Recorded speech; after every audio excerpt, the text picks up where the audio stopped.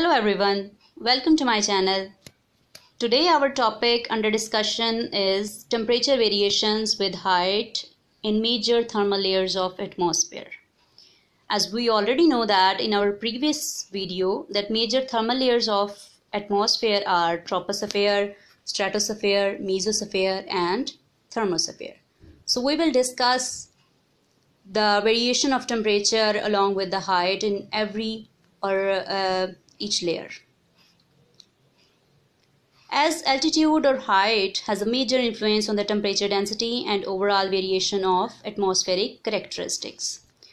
So in this picture, you are seeing the relationship between height and temperature in various layers. So now we will discuss one by one all the layers. So first of all, the troposphere. Troposphere is at an average height of 12 km. It is lowest over the poles, about 8 km, and highest above the equator, about 16 km. Its height varies with the seasonal changes. It is highest in the summer and lowest in the winters. Air temperature decreases with the height. As the height increases, so air temperature decreases in this zone and it goes about 15 to minus 56 uh, degrees Celsius in this region. So a narrow zone called the tropopause separate this layer from the next layer called stratosphere. So all the weather phenomena is related to this trop uh, troposphere. Clouds are formed in this region because 99% of the water vapors present in this region. Troposphere called region of mixing because of the vigorous convection currents within the layer. So convection currents and cloud formation and related phenomena will be discussed in our future videos. So keep watching. Stratosphere. Stratosphere is the second major layer of the atmosphere. It resides between 18 km to 50 km above the planet surface. Air temperature remains constant up to a height of 25 km and it then starts to increase with the altitude and it reaches up to the minus 2 degrees Celsius and 90% of the ozone layer present in the stratosphere.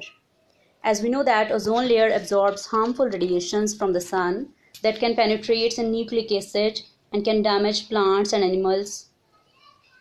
The absence of water vapors prevents cloud formation and temperature inversions prohibit vertical winds.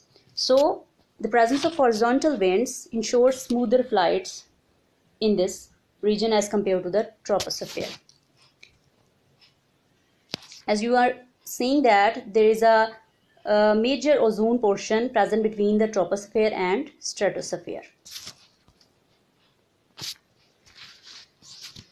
So mesosphere is the third layer. It extends from 50 km to 80 km. It is also referred to as upper troposphere because here temperature decreases with the altitude.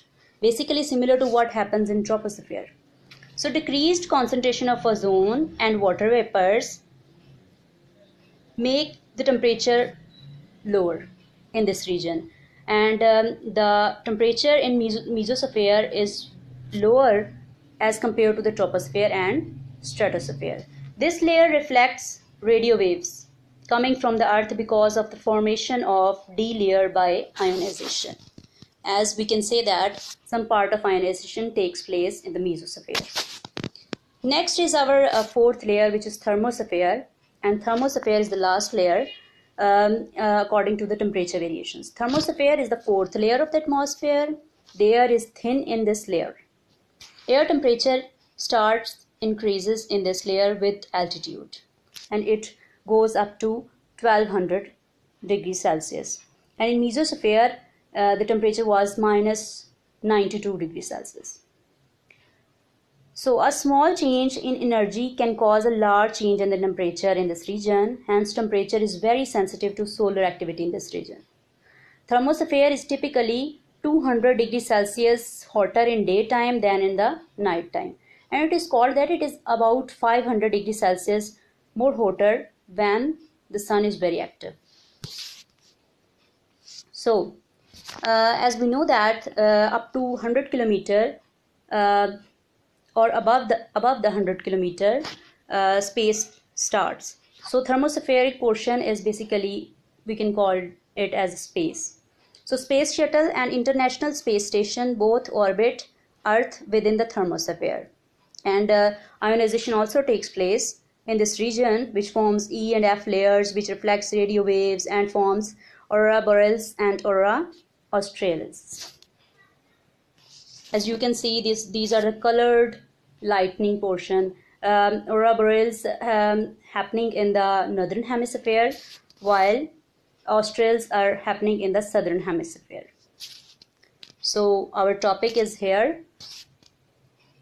Thanks for watching and subscribe to my channel and wait for the next video. We will discuss composition of atmosphere in our next video.